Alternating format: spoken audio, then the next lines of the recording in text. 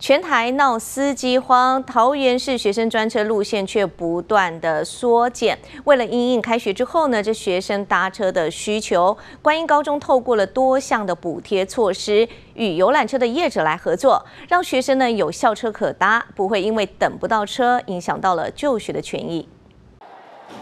桃园客运闹司机荒，尽管中央与地方积极招募，缺额仍高达两百六十名，从原先的一百零七条骤减至八十五条，冲击到学生的专车运行。观音高中校长林正清指出，目前学校努力招标中，即便国教署补助学校一千多万元，仍有所不足。现阶段学校先与游览车的业者合作，提供专车让学生上下学，并提供多项的补贴，让学生负担少一些，将可能造成的影响降到最低。观音高中哈在非三非四地区，那这个学生的来源呢又更今年又更多元哈，所以在呃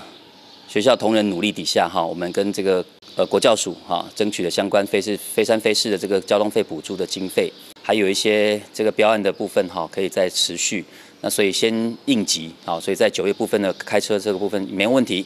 那招标这个学期的招标部分，我们持续来做。哎，那所以学生的交通在开学是不会受到影响的。实际询问搭乘专车的学生都非常感谢校方，因为有了专车，他们再也不用长时间站着，能够在车上好好的充电，为今天学习做好准备。我觉得他还不错啊，就是虽然这学期开始要收费，但是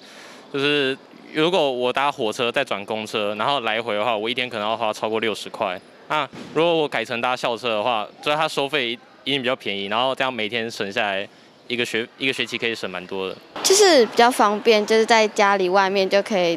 直接搭到学校，然后可以补眠睡一整路的觉，这样。未来观音高中会持续与国教署沟通，并确保每位学生的受教权，让交通问题不会成为学生就学的障碍。